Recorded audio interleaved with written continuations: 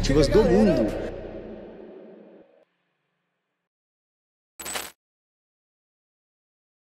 A gente estava conversando em off que você é, trabalhava em CLT e aí você saiu do CLT para se dedicar às apostas. Sim. Você fazia o quê? Então, eu era auxiliar administrativo na empresa em Lavras, Minas Gerais, né? Show. Que é uma a cidade maiorzinha ali da região. É, eu trabalhei lá, acho que um ano por aí, deu um ano. É, já, já mexia com as apostas, já né? Estava dentro já do Sim. mercado. Aí o extra foi ficando maior do que o meu salário, né? Não estava compensando pelo tempo que eu ficava trabalhando CLT. Aí eu decidi sair no final de, de 2022 e não arrependo, não. É, graças a Deus tem dado tudo certo. Até melhor do que eu pensava. E só nas apostas aí é uma coisa que eu gosto muito, que eu quero viver disso. E hoje você vive só de apostas esportivas? Só de apostas. A sua renda única exclusivamente, ela vem do mercado de apostas? Sim, do mercado de apostas, na junção de tudo. Sim, muito bacana. Isso, isso é importante você falar, porque tem muita gente que tem dúvidas, né? Falando assim, pô, será que dá para viver de mercado das apostas esportivas? Sim. E dá, não dá? Dá, dá. É família mesmo, né? É difícil você, você falar que vai largar um emprego ali de carteira assinada para viver de apostas, né? Meu pai, minha mãe. Foram contra? A, a princípio, assim, não, não apoiaram muito, não. É. Falou, pensa direito e tudo mais. Eu falei, cara, eu, eu quero fazer isso porque eu sei que tá dando certo e sei que vai dar certo. Aí no começo, assim, foi meio que uma dúvida ali. Mas depois vier, viram, né? Porque o que, o que conta é na hora que, que entra, o resultado, né? né? É o resultado, o dinheiro que entra. Aí quando vê o resultado, assim, vê que tá dando certo, que é alguma coisa honesta, é, fazendo honesta, honestamente, né? Eu não tenho problema nenhum e eles hoje em dia me apoiam muito. Hoje em dia você tem a, o apoio da família. Sim. E, com, e, e para a esposa, como é que foi? Quando você falou para ela que você ia sair do, do, emprego, ela já sabia ou foi um choque? Como é que foi? Porque você tem uma filha pequena, né, também. Como uhum. é que uhum. foi essa decisão?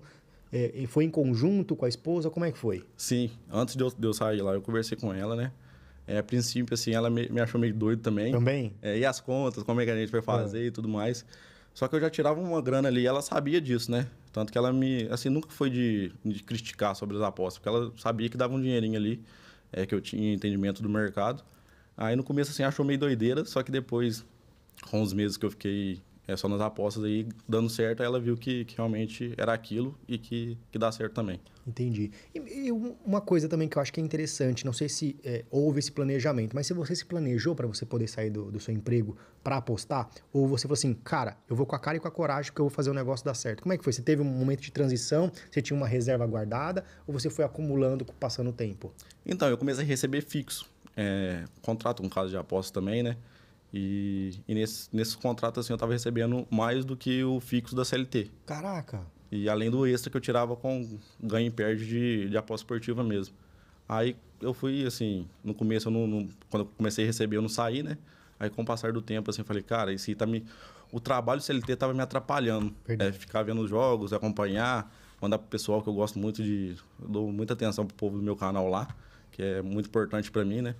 E, e foi assim, Aí, como começou a dar certo, e aí eu falei, não, agora eu vou, vou sair do meu, do meu emprego aqui e focar somente nisso aqui. E quando que foi que você percebeu que as apostas esportivas começou a dar certo de fato para você? Teve algum momento, alguma sacada, algum mês? Foi alguma coisa que aconteceu? Ou você foi passando o tempo, você foi enxergando o seu crescimento gradativo? Como é que foi? Cara, porque assim, eu comecei nas apostas em 2018, né? Em 2018, 19 e 20 ali, foi aquilo ali, de eu postar no time que a gente torce, tô vendo Palmeiras e São Paulo aqui, eu vou postar no Palmeiras porque eu quero que o Palmeiras ganhe. Não tinha nada de... Prof... Né? Isso, não tinha profissionalismo nenhum. Aí ali eu não ganhava nada. Aí eu comecei é, a postar em escanteios, conheci o mercado de escanteios, foi onde eu comecei realmente a ganhar dinheiro e dar certo.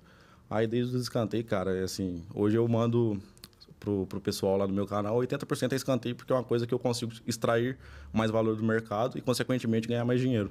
E, e, aí, a partir de então, você começou a ser consistente no mercado. Sim. E hoje você é especialista no mercado de escanteios, mas, por exemplo, dentro do mercado de escanteios temos várias vertentes. Qual, qual delas que você permeia ali?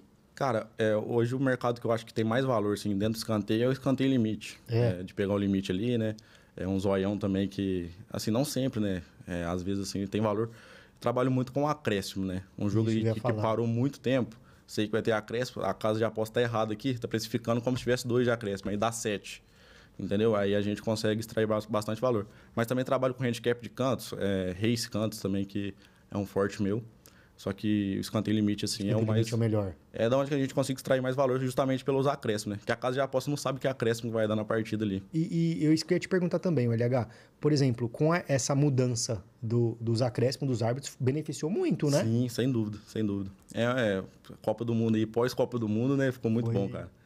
Muito bom. O Campeonato Brasileiro aí, eu gosto dos acréscimos deles, né? Às vezes um, um árbitro ali é, erra, né? Que faz, que faz parte também. Mas os acréscimos do brasileiro ali. Eu não gosto muito da Champions. A Champions não. ali, o jogo parou 7 eles dá 2. Sério? a Champions para acréscimo é isso já? É. A Champions no, no mercado de, de escanteios, assim, você tem que ficar bem ligeiro redobrar atenção, assim, sem dúvida. Já imaginou participar do primeiro game show de apostas esportivas do Brasil? Estamos falando da A Grande Aposta, onde o selecionado vai vir para São Paulo com tudo pago, translado, hospedagem e alimentação e ainda vai poder ganhar 30 mil reais em dinheiro. É muita coisa. Para participar é muito fácil. Você precisa apenas se cadastrar por esse link que vai ficar na descrição, depositar um valor mínimo de 100 reais e fazer uma aposta mínima de 50 reais. Essa aposta pode ser green ou pode ser red, não tem problema. Fazendo isso, você já está apto para ser selecionado a estar aqui comigo frente a frente e participar da A Grande Aposta. Já imaginou você receber 30 mil reais em dinheiro, me conta aqui o que, que você faria com 30 mil reais. Muita coisa, não é verdade? Você poderia abrir um negócio, você poderia é, fazer uma viagem, você poderia fazer muita coisa com 30 mil reais. Imagina só 30 mil reais agora no seu bolso.